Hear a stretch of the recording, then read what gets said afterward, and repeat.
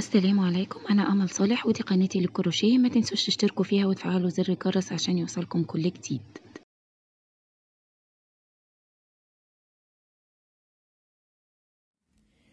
إيه هعمل معاكم النهارده. هستخدم خيط ناكو. طبعا إحنا هنعمل جيب أنتوا شفتوها.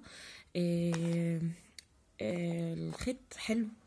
يعني ملمسه حلو بس هو مش بديل أوفر ولا حاجة لإليزا. إيه لأن دي بخمسة وستين جنيه. هي مية جرام برضو. تمام؟ إيه طيب إحنا هنبدأ عموما على طول عشان أنتوا عارفين ما بحبش ارغي قوي قبل ال- المشروع. دي ابره أربعة ونص وده الاقتراح بتاعها عموما. إيه المقاس ده هيبقى من طفلة من تسع شهور لسنة كده. أنا بدأت البداية السحرية اللي عارفني يعني اللي متابعني هيبقى عارف. اللي مش عارفني هحط له ال- ال link بتاعها تحت الفيديو. وكمان أنا هعمل معاكم أهو هي فكرتها إن أنا إيه بشتغل أدي واحد اتنين تلاتة. بس أنا هنا هعمل اتنين بس. يعني الطبيعي بتاعي في البداية السحرية بعمل تلاتة. هنا هعملها اتنين بس عشان تبقى الغرزة مقفولة شوية. وهقوم جاية داخلة هنا كده. تمام؟ تعالي. أقوم جاية داخلة هنا كده ومرتفعة بالعمود. كمان مرة. اهو سلسلتين وارتفع وهدخل في العمود. طب بنعملها ليه؟ دي بتسهل عليكي بدل ما تعملي سلاسل وبعدين تدخلي في كل سلسلة. هنا كده عملنا فراغ هندخل إيه؟ هندخل فيه. تمام معايا؟ تمام. طيب هنبدأ بقى. أنا أهو. عملتهم دي لو قستيها مش هتجيب 52 دي هتعمل لك حوالي مثلا 48 خلاص كده؟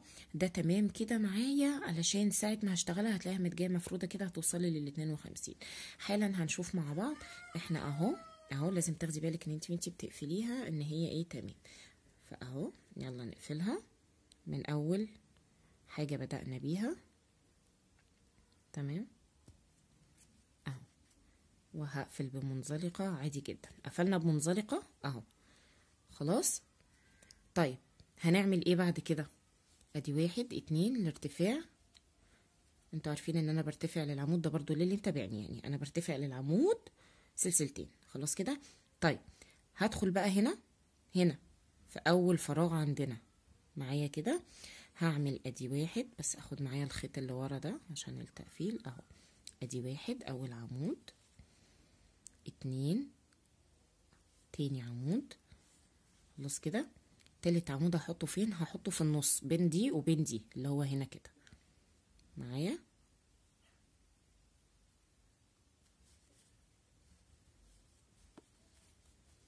تمام. يا رب تبقى واصلة لكم. اعملها تاني أهو. في الفراغ هعمل اتنين عمود. عادي أهو. ماشي؟ في النص هنا ما بين الفراغ ده وما بين الفراغ ده هقوم جاية. اللي هو في المكان اللي أنا كنت بدخل فيه الغرزة السلسلة إيه، الإبرة قصدي عشان أطلع بالوحدة اللي بعدها. معايا كده؟ عايزة تعملي جوه كل فراغ ثلاث عواميد تمام بس أنا مش عايزة يديني شكل الجراني أدي الفكرة يعني. خلاص؟ فأهو اللي بعده أدي واحد اتنين هدخل في الفراغ في في الفرق اللي بين الفراغ في النص أعمل تلاتة. وانت بتشتغلي طبعا هتلاقيه بدأ يدور معاكي كده ما تفكريش إن هو هيقوس ولا حاجة. ما تخلصي الشغل لحد الآخر هتلاقيه لم معاكي لأن إحنا كمان لسه هنعمل إيه؟ ال- البليسيه خلاص كده؟ طيب هخلص بقى لآخر السطر وأرجع معاكي إيه، نكمل سوا. بصوا بقى دلوقتي آه أهو خلصتها تمام وعملت عمود في في آخر حتة دي على أساس إن أنا عملت في الفراغ الأخير. اتنين وعملت في اللي بعده أهو عمود لأن أنا ماليش دعوة بده الارتفاع قلت لكم مش هحسبه. وبعدين هدخل هقفل بمنزلقة. بصوا بقى دلوقتي لما هاجي أقيسه.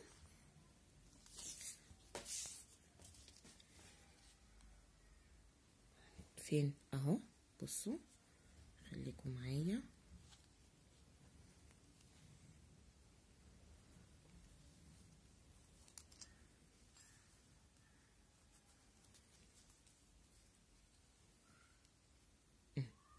عمل واحد وخمسين. تمام؟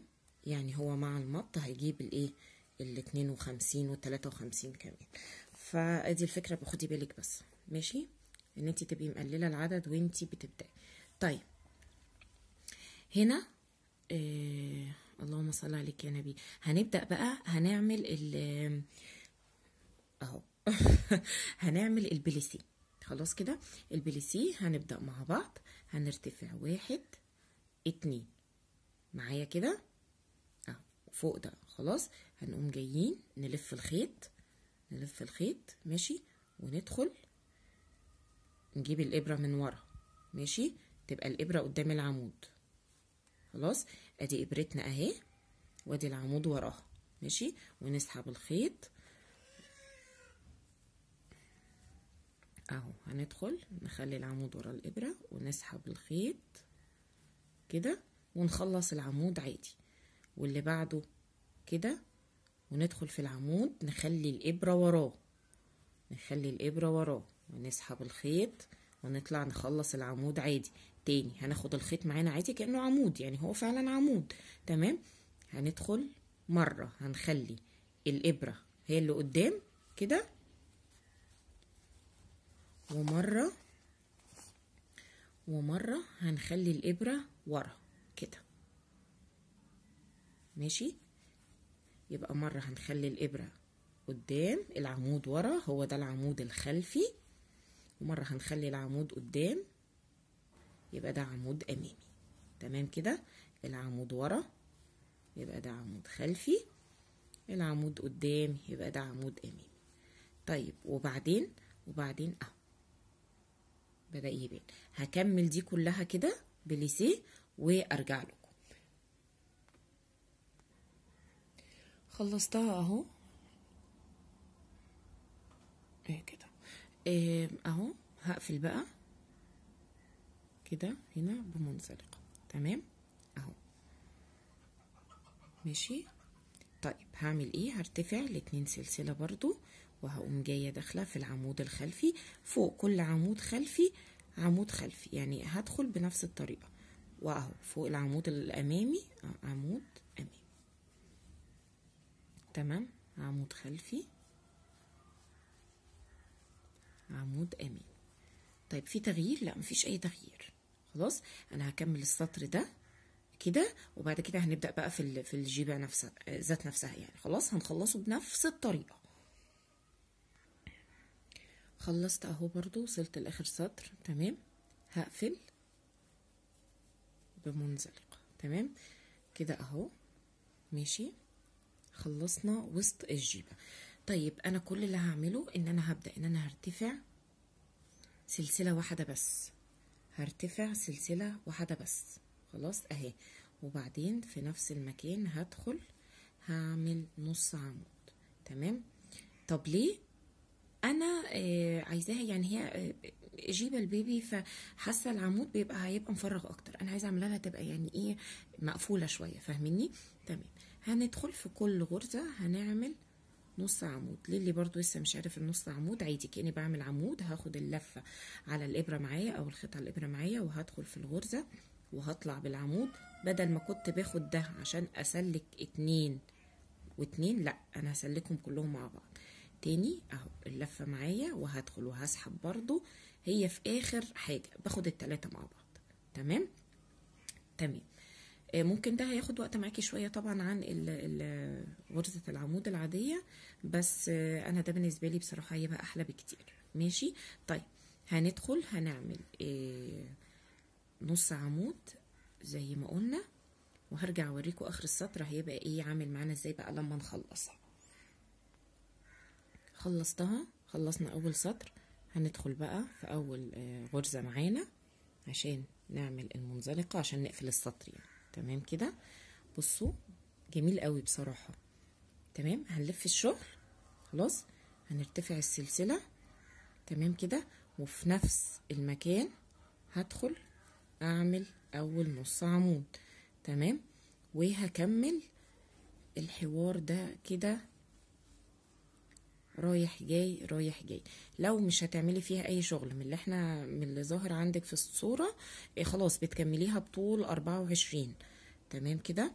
إيه لو هت لو هتعملي فيها إيه شغل زي اللي إحنا هنعمله إيه بتعمليها لحوالي مثلا 12 سنتي أو 10 سنتي عشان نبدأ نعمل فيها الشغل بعد كده. تمام؟ يبقى أنا هكمل هكمل السطور دي لحد ما نوصل 10 12 سم السطور بس من غير من غير ال- الأستك بتاعها أو من غير البليسيه ده.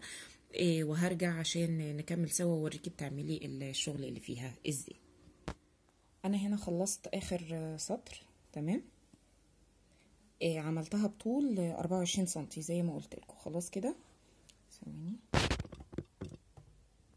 مش عارفة إحنا رايحين فين بصراحة. تمام تمام. طيب هاجي. عند آخر غرزة حشو إيه غرزة نص عمود أنا هسحب الخيط وبعدين هدخل الإبرة في أول غرزة عندي وهسحب الخيط. تمام كده؟ تمام.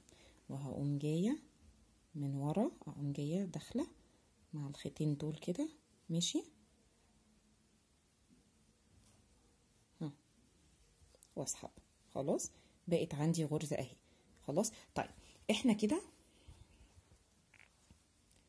إحنا كده خلصنا الشغل بتاعنا ماشي؟ بالطريقة دي. تمام؟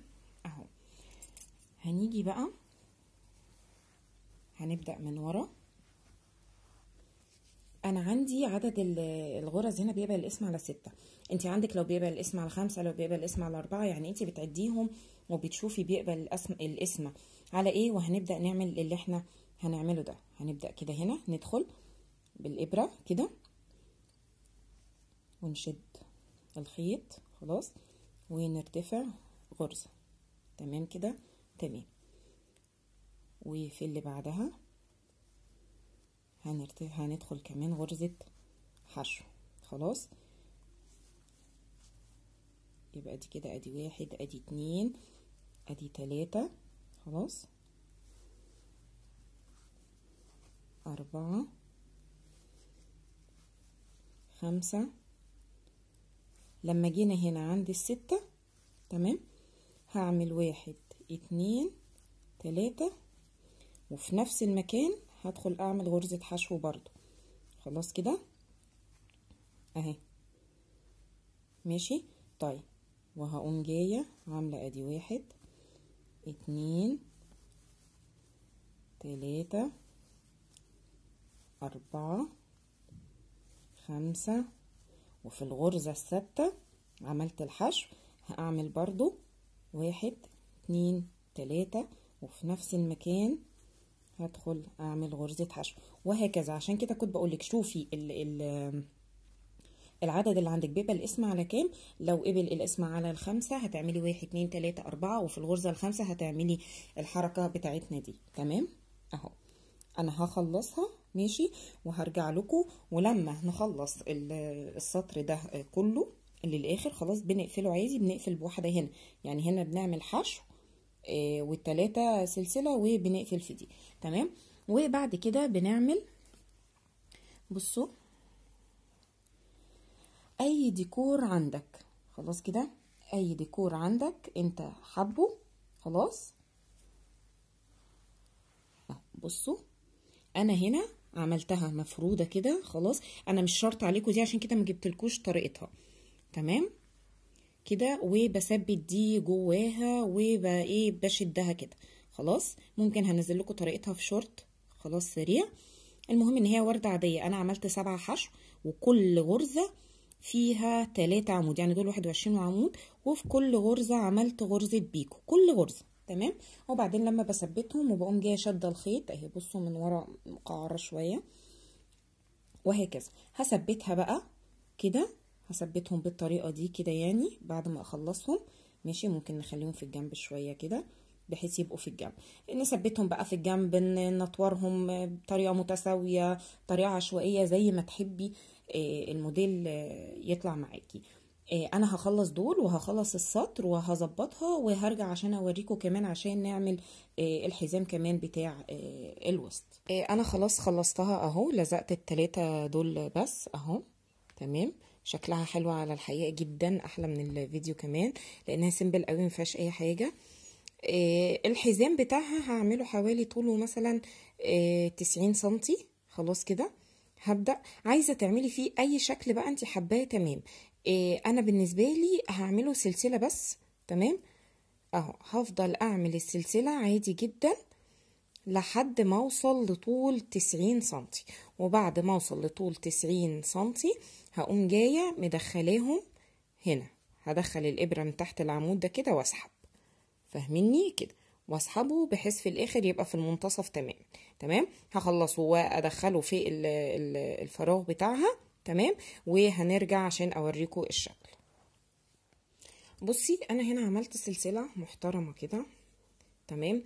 إيه أنا عندي ليكي فكرة كويسة برضو عشان مش بعد ما تقصي تلاقيها طويلة أو تلاقيها قصيرة أو كده. انت هتسيبي الخيط ده زي ما هو. تمام؟ تمام. أنا قلت يلا نعمله سوا هنا مع بعض. انت عندك طبعا طرف الخيط اللي انت بدأتي بيه.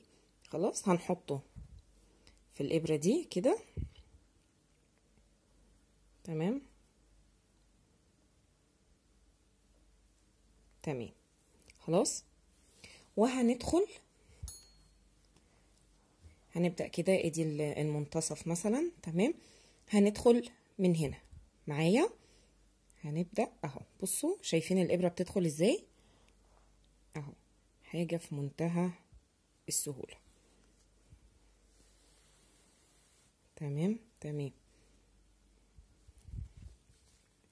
هنفضل بقى ندخل كده. لحد ما نوصل لل للمكان اللي إحنا بدأنا منه. تمام؟ يعني إيه الموضوع مش صعب قوي. خلاص؟ لما توصلي بقى للمكان اللي انت بدأتي منه اللي هو برضو في نص الجيبة هتشوفي إذا كنت محتاجة تعملي زيادة خدي بالك عشان الخيط ما يفلتش زي ما كان هيحصل حالا دلوقتي. آه إذا كنت انت بقى محتاجة زيادة محتاجة تقصريها. تمام؟ ده أفضل حل وخصوصا لو كنت مبتدئة يعني. أهو خلصت أهو. وصلنا للنص. طبعا أنا السلسلة دي اللي عندي أطول فأنا هشد. تمام كده؟ بتظبطيها انت بقى بالطريقة اللي انت عايزاها. نشيل بقى الإبرة دي كده. خلاص. نشدها كمان حبة صغيرة كده. تمام. بقى اللي عندنا أهو. تمام. أنا شايفة إن إحنا نقطعه. خلاص الخيط كده مناسب جدا.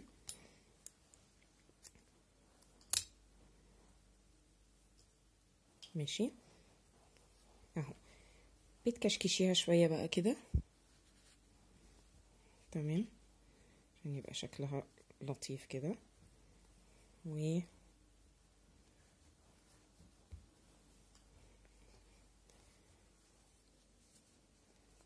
هنعمل الفيونكة. خلاص اللطيفة دي كده. وهنمسك دول بقى. هنشدهم جامد جدا جدا جدا. وبعدين هتقصيهم.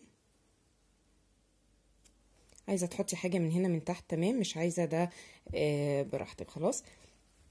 إحنا كده بنكون خلصنا الجيبة بتاعتنا بكل التفاصيل بتاعتها.